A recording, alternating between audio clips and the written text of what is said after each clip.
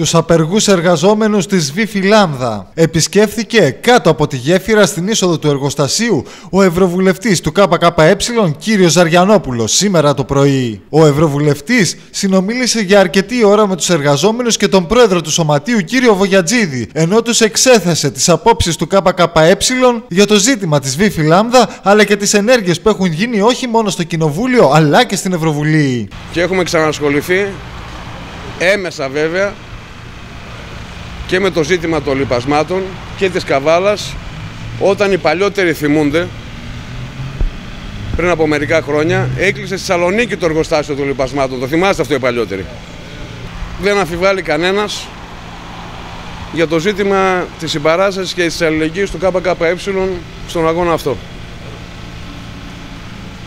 Και όχι μόνο σε αυτό, σε όλους τους αγώνες που γίνονται. Και σε όλους τους αγώνες που έγιναν. Διότι βλέπετε ότι οι παρεμβάσεις δεν έχουν γίνει μονάχα στη Βουλή, την ελληνική. Θα δώσω και στο σωματείο σας την ερώτηση που καταθέσαμε στην Ευρωβουλή για το ζήτημα των λοιπασμάτων της Καβάλας. Δεν θέλουμε να χαϊδέψουμε αυτιά. Έχουμε λόγο και θα σας πούμε ποιος είναι ο λόγος. Τέτοιες αιστείε αντίσταση όπως ο αγώνας αυτός εδώ πρέπει να πολλαπλασιαστούν, πρέπει να δυναμώσουν και πρέπει να σφραγίσουν όλες τις εξελίξεις.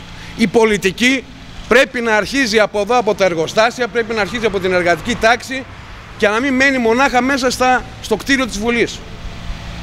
Παίρνουν και αποφάσεις, αλλά οι αποφάσεις αυτές πρέπει να σφραγίζονται από τη δυναμική των εργαζόμενων, από τα αιτήματά τους, από τους αγώνες τους, από την πίεσή τους, από την αισιοδοξία τους ότι μπορούν να νικήσουν.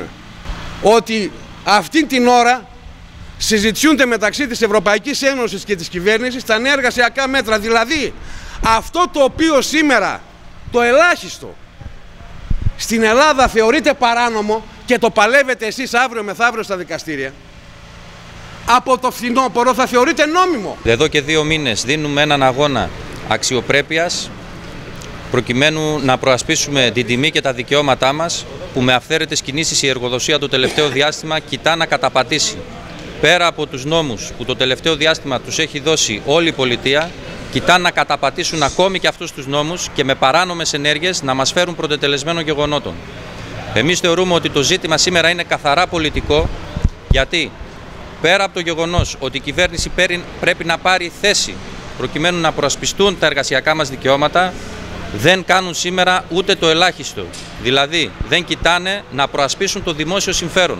Διότι αυτό το εργοστάσιο είναι ζωτικής σημασίας τόσο για την αγροτική όσο και για την εθνική οικονομία. Αυτή την ώρα βλέπουμε μία ύποπτη σιωπή από πλευράς κυβέρνησης απέναντι σε επιχειρηματικά συμφέροντα τα οποία λιμένονται την καβάλα, έχουν διχάσει την κοινωνία, δεν τολμούν να πούν ούτε το όνομα Λαβρεντιάδης και δεν τολμούν να αυξήσουν, να αυξήσουν την πίεσή τους προκειμένου να βρεθεί οριστική λύση στο πρόβλημά μας. Ότι θα το φτάσουμε μέχρι το τέλος. Τι θα γίνει! Γαμάς! Τι θα γίνει! Γαμάς!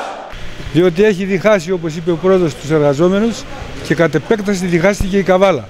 Και καλούμε από εδώ τους φορείς και τους πολιτικούς της Καβάλας της περιφέρειας επιτέλους μία φορά να αρθούν στο ύψος τους. Γνώση των επιχειρηματιών της Καβάλας. Παράδειγμα, επαγγελματικό, βιο, βιοτεχνικό, βιομηχανικό επιμελητήριο. Ποια είναι η θέση τους για την υπόθεση; Το εμπορικό επιμελητήριο που επισκεφθήκαμε εμείς οι, οι παλέμαχοι χθες και εν πάση περιπτώσει ε, συνεχίζουμε να επισκεφτούμε και τους υπάλληλους φορείς. Ο Εμπορικός Σύλλογος έχει σταθεί, ο Εμπορικός Σύλλογος Καβάλας έχει σταθεί πολλάκι αλληλέγγυος στον αγώνα που δίνουμε. Έχουν έρθει εδώ, μας έχουν επισκεφτεί και ήδη βρισκόμαστε σε συζητήσεις προκειμένου να υπάρξει και μια κοινή δράση να αναδείξουμε το πρόβλημα για το τι σημαίνει ε, λοιπάσματα στην κοινωνία της Καβάλας. Εν τω μεταξύ, το μεσημέρι έγινε γνωστή η απόφαση του Πρωτοδικείου Καβάλας επί της αίτησης ασφαλιστικών μέτρων για έκδοση προσωρινής διαταγής που είχε καταθέσει το Σωματείο Εργαζομένων της Βίφη Λάμδα, ζητώντας την επιστροφή των υπαλλήλων της εταιρείας που είναι σε διαθεσιμότητα. Το Πρωτοδικείο Καβάλας απέρριψε την αίτηση και πλέον οι εργαζόμενοι θα αποφασίσουν τις περαιτέρω ενέργειές τους σε Γενική Συνέλευση που θα συγκληθεί